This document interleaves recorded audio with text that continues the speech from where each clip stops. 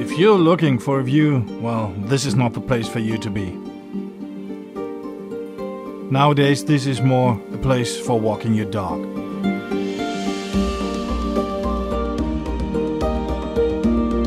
I was here once or twice a year when I was a kid. Took a stroll around this little lake.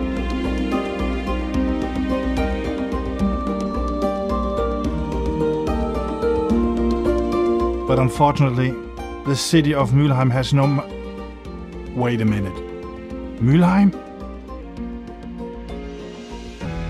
Oops, wrong town. Sorry.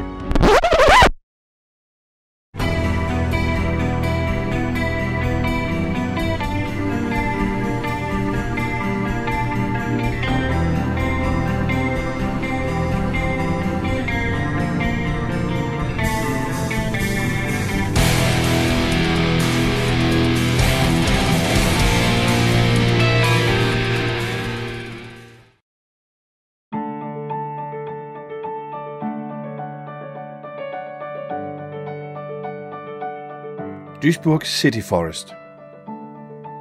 Or, as we say in Duisburg, Stadtwald.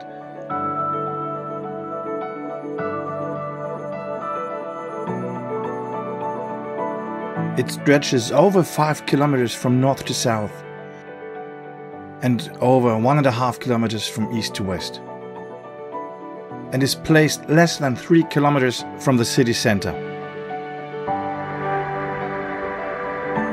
The city forest is the biggest coherent wooded area in Duisburg, and together with the surrounding wooded areas, it reaches a size of 30 square kilometers.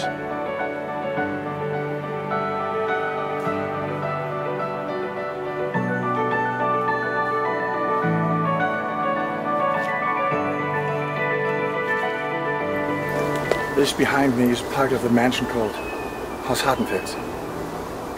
Built on the highest place here in Duisburg. It was built by an industrial magnate called Klöckner, one of the richer people here. This highest point here in Duisburg is 82.5 meters over sea level. After the Second World War, fugitives and people who lost their houses because of the war found a living place here. House was rotting away. Then, 10 years ago, the whole place was renovated and apartments from 77 square meters to 380 square meters were built. No problem with a 3,800 square meter palace, right?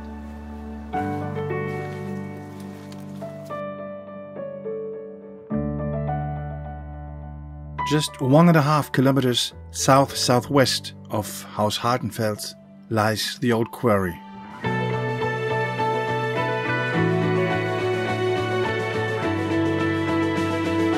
Since the 11th century, this quarry has delivered stones and rocks for streets and houses in the Duisburg area.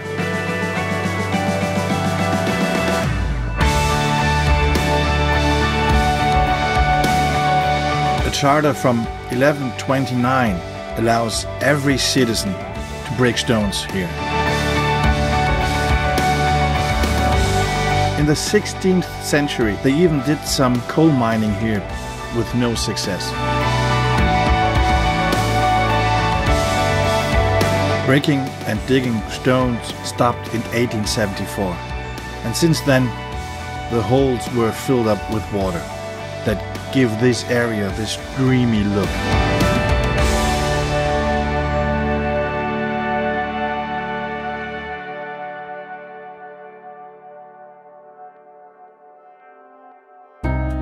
It's always amazing to see how green the city actually is from above.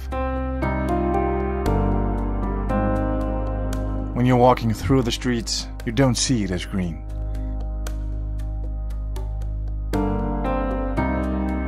But being above like this actually shows how much green there really is.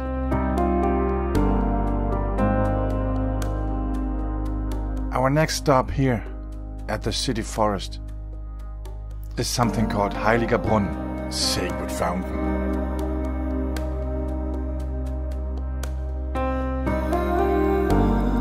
The legend says that people had to dig a tunnel while the Vikings were seizing the city to get some fresh water from here. Later, from 1583 to 1589, Duisburg was occupied by Spanish troops fighting against the Reformation, and legends tell about this fountain saving the citizens of this town.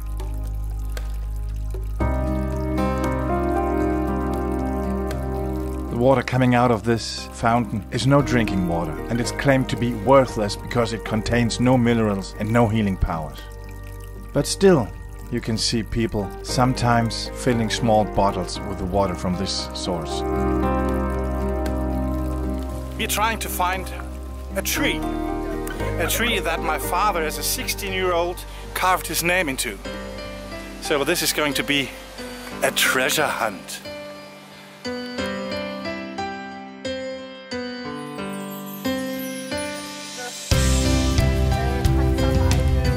To be honest, he was only 13 when he carved this tree.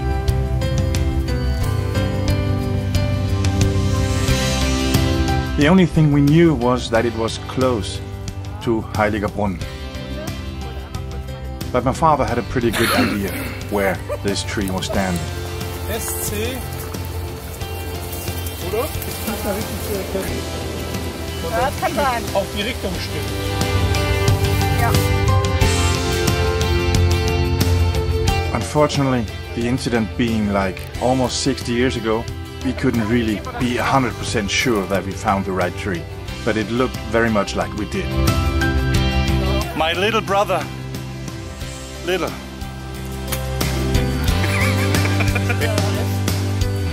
Abnehmen und wieder draufsetzen. Guck, ich jetzt im Fernsehen.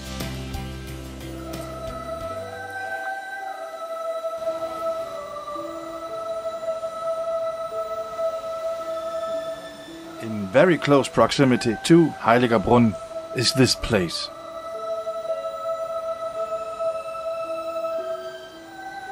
Every year, from May to September, the two biggest Christian churches in Germany, Catholics and Protestants, hold services here in the forest.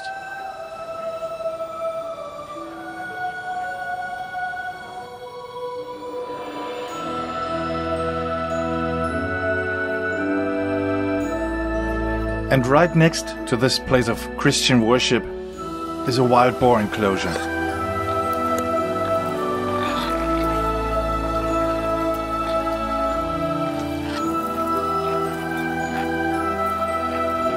And here they can live relatively freely.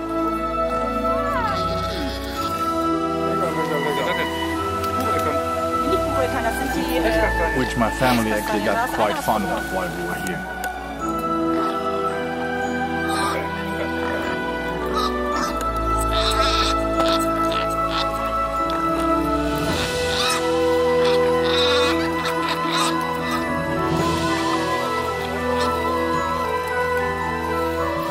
Are definitely more places in the city forest to explore, but that is going to be a task for season three next year. Well, with a family like that, who needs enemies? Thanks for watching. Catch you on the flip side. Habe ich jetzt überhaupt das Ding angehabt? Ja, hat gefilmt. TogTom signing off.